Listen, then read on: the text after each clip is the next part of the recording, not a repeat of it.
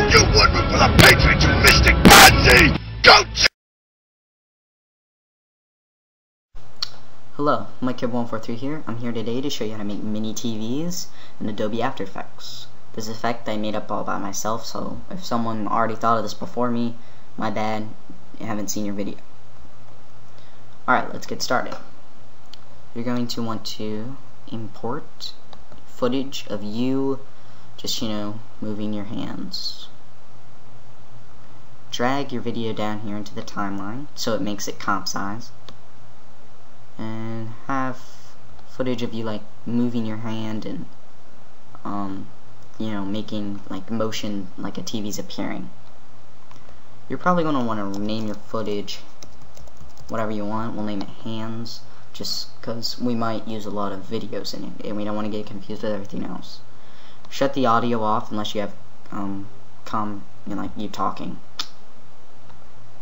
then you're going to import your TV show or, you know, anything. It's good for advertising yourself. Then you're going to want to make sure it's on top of your other video. This one is the Gohan versus Cell thing. You're going to want to make it like a look like a widescreen TV, dragging off the side. Find that frame using the page up and page down to find when your TV should appear. Mine appeared about right here. At least that's where I want it. So I want to shrink this up so it, there's action going on when I snap it. Okay, cool.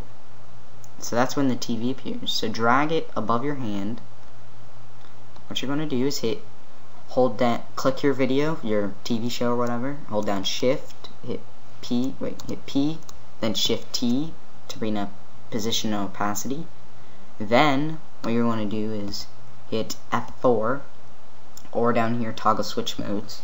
To bring up this little bar here and for your TV show you're going to want to make it a 3D layer by clicking this 3D cube and enabling that. That brings up all this. Orientation, X rotation, and Y rotation.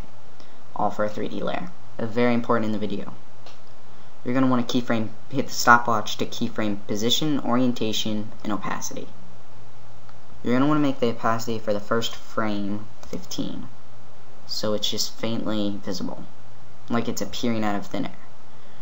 Now if when I'm snapping my hand or whatever my it looks like the video should be coming in this way or this way it doesn't matter so I'm gonna make it this way. So use the orientation and if you pull click it and pull right it rotates right and that's about the angle I want and then you can just click the video on the the um, screen and drag it where you want it and this all keyframes it so your next frame where your hands down here you can drag it and that frame up there is saved. That's what keyframing is basically. Drag the video and rotate it wherever you want it.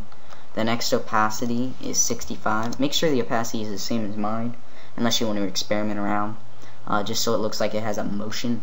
You may even want to add motion blur, which I did not do, but motion blur affects the whole video. Well, no, you could add it as an effect. Then you go to the next frame. My hand seems to be coming back up, so I'm going to drag the video back up a bit. You want it levitating what looks like a good couple inches, but that's only a little bit on the screen. Again, adjust the orientation. I'll make my orientation about 2, positions already. Next, um, opacity is 95. Next frame goes up even more, so we're going to put it, we're to like adjust it there. Click orientation to make it zero whenever you want it perfectly aligned. Positions keyframe, and then your obviously your final opacity is 100. You're not going to be messing with the opacity again, uh, unless you're doing another video over here. So just do this frame by frame, or you know every couple of frames. Just move it around. Okay. I'm going to, so position it basically until you're about ready to throw. I'm going to fast forward this part of me moving the thing around, so...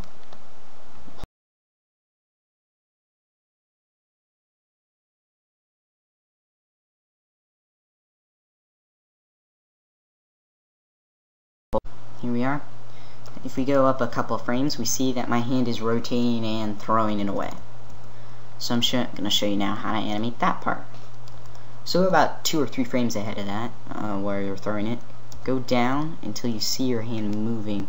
You're going to want to animate that going with it. Now we can see my fingers are curling like my hand is rotating the video.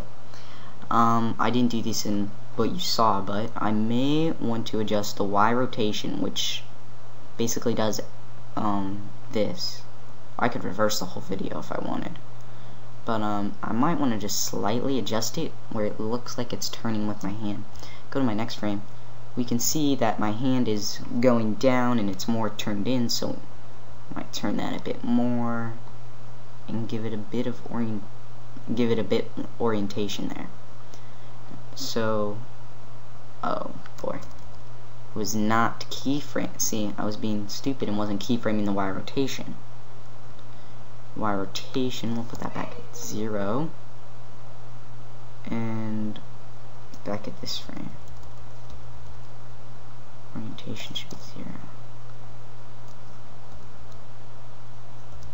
sometimes in the video you're you'll see that your video is moving due to time um, on the orientation. So every you know every like 10 frame 20 frames you want to put it at zero again so it stays. Okay we can see that it's going angle wise and rotating up until about that frame. Now we can adjust the um, angles and such. Sorry about that. So we might want to give this a bit more orientation. And then a lot of spin and adjust it so it's just above the fingers. And bring that orientation down a bit. You can see my hand is basically at a U, so we're going to put a lot of spin in that. Drag that down here. Give it a bit more orientation. Now you can see it's practically at a U, so about right there. Align this more upward so it looks like I'm holding it. Now we want to bring this back up to about there and bring this sucker's rotation there. So you can see this is a frame by frame process um, animation. You can bring it back to about, bring it there, bring it there. And we can see my hand is about to launch it so we're gonna want to make it flat again. Or as close to flat as we want to make it.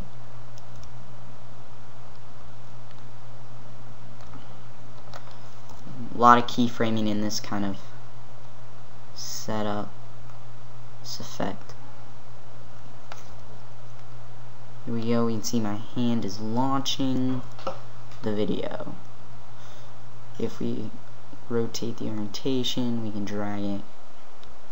This part is where you can do a lot.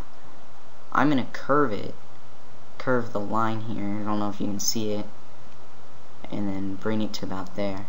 The next frame, this thing's going to be about here, and you're just going to want to spin the orientation so it's like completely opposite, so it spins fast, like you gave it um good speed.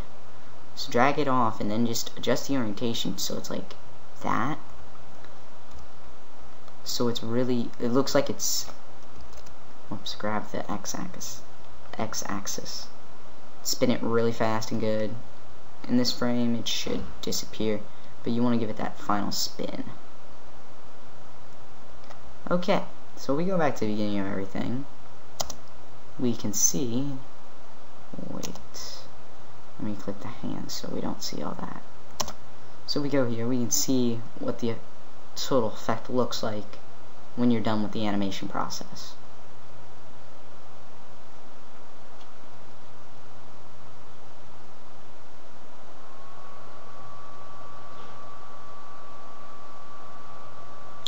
Looks pretty nice and solid.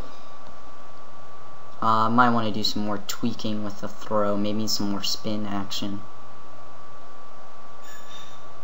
Maybe not such a big spin there, but I don't know the last step you want to do is if we did a RAM preview right now of everything that's going on let that load real quick if we let it do a RAM preview it's gonna it's gonna finish up here in a second. It's got a buffer. And there we go. And okay, we watch this, we can see that after one sec, we can see after it's off the screen, it keeps going. You could hear that. It keeps going off screen. So what you're gonna do is go to the last frame of it and go so that's the frame right there and then now it's officially off screen go one more frame and then hold control shift D oh whoops I did the wrong video make sure you select your TV video control shift D and that separates the two different layers and this is the rest of it just delete that and now you have it stop after it's off screen and do the rest